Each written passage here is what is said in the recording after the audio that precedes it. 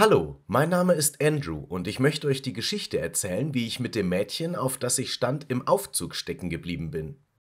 Ihr Name ist Allison und ich hätte mir nie vorstellen können, dass ich ohne jemand anderen in der Nähe so viel Zeit mit ihr verbringen könnte. Es war sowohl ein Segen als auch ein Fluch, so viel kann ich euch sagen. Allison war ein absolut wunderschönes Mädchen. Sie hatte die hübschesten blauen Augen und dunkles kurzes Haar. Sie war auch das klügste Mädchen in meiner Klasse. Ich bewunderte Allison, war aber zu schüchtern, um mit ihr zu sprechen, so dass sie nicht einmal wusste, dass ich existierte. Die perfekte Gelegenheit, diese Tatsache endlich zu ändern, bot sich gleich nach dem Ende des Unterrichts an einem langweiligen Freitagnachmittag.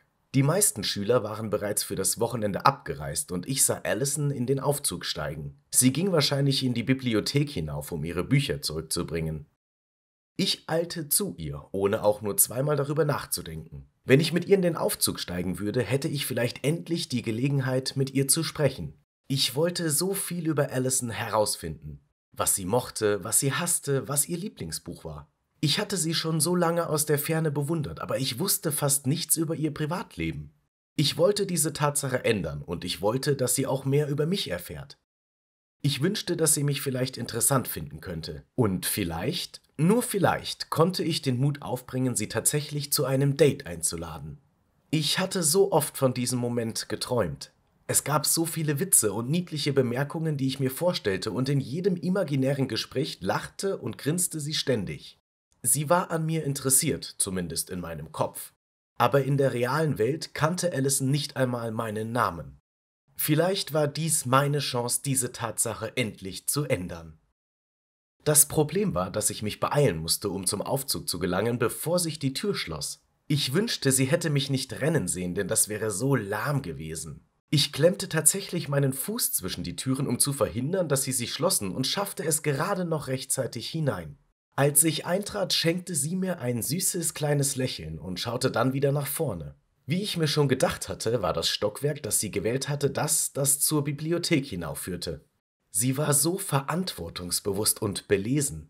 Ich weiß, das mag für manche Leute nicht nach erstaunlichen Eigenschaften klingen, aber für mich hat es mich nur noch verliebter in sie gemacht. Jedenfalls versuchte ich immer wieder mit ihr zu reden und wusste, dass die Fahrt mit dem Aufzug super kurz sein würde, aber jedes Mal, wenn ich versuchte, meinen Mund zu öffnen, wurde mir übel im Magen. Als ich dachte, alle Hoffnung sei verloren, passierte etwas Seltsames. Der Aufzug schaukelte plötzlich hin und her und kam dann plötzlich zum Stillstand. Wir stürzten fast zu Boden, aber ich schaffte es, sie festzuhalten, bevor sie stolperte. Am Ende hatte ich meine Arme um sie geschlungen und lehnte mich mit dem Rücken an die Wand des Aufzugs, um mein Gleichgewicht wiederzufinden. Sie errötete und dankte mir, während sie sich wieder aufrichtete. Ich fühlte mich schrecklich, dass ich sie nicht mehr in meinen Armen hatte, aber ich konnte sie das nicht wissen lassen. Also lächelte ich nur schüchtern und zuckte die Achseln. Wir versuchten beide herauszufinden, was mit dem Aufzug nicht in Ordnung war, aber er schien einfach stecken geblieben zu sein. Also drückten wir den Notfallknopf und beschlossen, dass es am besten sei, auf Hilfe zu warten. Sie warf mir ein paar unbeholfene Blicke zu, aber wir standen die ersten ein oder zwei Minuten in völliger Stille da. Schließlich stellte sie sich vor, und ich tat so, als kannte ich ihren Namen noch nicht. Ich sagte ihr, dass ich dachte, ich hätte sie in einigen meiner Klassen gesehen, und sie schien überrascht. Anscheinend hatte sie mich vorher noch nicht einmal bemerkt. Das tat irgendwie weh, aber ich schüttelte es einfach ab. Die Vergangenheit spielte keine Rolle mehr, nur noch die Zukunft. Und wenn ich meine Karten richtig ausspiele, gäbe es vielleicht sogar eine Zukunft für uns beide. Das Gespräch war zugegebenermaßen anfangs etwas unbeholfen. Wir sprachen über den Unterricht und das Wetter und wir blieben immer wieder in dieser unbehaglichen Stille stecken, bevor es einer von uns wieder zu sprechen wagte. Nach einer Weile versuchten wir wieder auf den Knopf zu drücken und hörten es klingeln. Sicherlich würde uns in Kürze jemand zur Seite stehen, dachten wir, schließlich war die Glocke wirklich laut. Also fingen wir an, offener zu sprechen, und das hat mich beruhigt. Sie war wirklich lustig, genau wie ich es mir vorgestellt hatte. Aber das Problem war, die Minuten vergingen und niemand kam, um uns zu helfen. Da begannen wir wirklich nervös zu werden. Allison und ich beschlossen, um Hilfe zu schreien und gegen die Wände des Aufzugs zu klopfen. Niemand antwortete uns. Ich überprüfte die Uhrzeit und stellte fest, dass zu dieser Stunde bereits alle Schülerinnen und Schüler und wahrscheinlich auch die meisten Lehrerinnen und Lehrer gegangen waren. Wir saßen da drin fest und mussten vielleicht das ganze Wochenende in einem Aufzug eingeschlossen bleiben. Wir fingen sofort an, richtig auszuflippen. Es hat einige Zeit gedauert, bis wir uns beruhigt haben.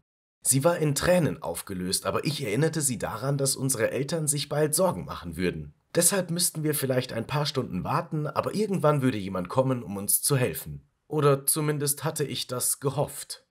Sie schien mir zu glauben und wischte ihre Tränen weg. Ich meine, ich weiß, dass wir beide verstanden, dass selbst wenn unsere Eltern merkten, dass wir verschwunden waren, sie vielleicht nicht daran dachten, uns in der Schule zu suchen. Aber es war ein beruhigender Gedanke und wir hielten beide daran fest. Panik würde eine schlechte Situation nur noch schlimmer machen. Ich schlug vor, ein Spiel zur Entspannung zu spielen und sie stimmte zu. Wir setzten uns beide auf den Boden und begannen uns gegenseitig Fragen zu stellen. Je mehr wir spielten, desto kühner und alberner wurden die Fragen. Ich habe wirklich viel über Allison erfahren und ich habe ihr viel über mich erzählt. Ich hatte mich noch nie in meinem Leben jemandem näher gefühlt. Es schien der richtige Zeitpunkt zu sein, um ihr meine Gefühle für sie zu gestehen. Ich wollte es endlich tun. Ich wollte Allison sagen, dass ich in sie verliebt war und dass ich mit ihr ausgehen wollte. Aber bevor ich es schaffte, etwas zu sagen, platzte ihr plötzlich heraus, dass sie schwanger war. Ich stand unter einem absoluten Schock. Ich fragte sie, wovon sie redet. Anscheinend hatte sie dieses Geheimnis zwei Wochen lang unter Verschluss gehalten und sie kam damit nicht mehr klar. Sie musste es jemandem erzählen und ich schien ein so süßer und vertrauenswürdiger Typ zu sein. Allison erklärte, dass sie mit diesem Typen von einer anderen Schule zusammen war und dass sie nicht einmal gemerkt hatte, dass sie schwanger geworden war, bis die Morgenübelkeit einsetzte. Sie versuchte ihm davon zu erzählen, aber der Typ war anscheinend nicht sehr nett. Einmal fing er an, darüber zu scherzen, dass er sofort davonlaufen würde, wenn eine Tussi jemals versuchen würde, ihn mit einem Schwangerschaftstrick zu fesseln. Ja, er benutzte das Wort Tussi. Was ein Mädchen wie Allison mit so einem Typen wollte, konnte ich nicht verstehen. Sie war sich sicher, dass er denken würde, sie sei schwanger geworden, um ihn zu zwingen, sie zu heiraten. Also wagte sie nicht, es ihm zu sagen. Und ihre Eltern wären super wütend und enttäuscht von ihr. Allison sagte mir, dass sie sich festgefahren fühlte und nicht wusste, wo sie Hilfe holen sollte. Ich sagte ihr, dass sie sich nicht so fühlen müsse. Es war ein Rückschlag, aber sie war klug und stark genug, um durch alle Widrigkeiten zu kommen. Sie war so dankbar und nannte mich lieb und gab mir ein Küsschen auf die Wange. Es war der beste und schlimmste Moment meines Lebens. Ich genoss den Kuss, aber ich wusste auch, dass sie jetzt mit einem anderen Kerl ausging. Also ja, man kann sagen, es war ein bittersüßer Moment. Das Problem war, dass es draußen schon richtig dunkel wurde und niemand gekommen war, um uns zu suchen.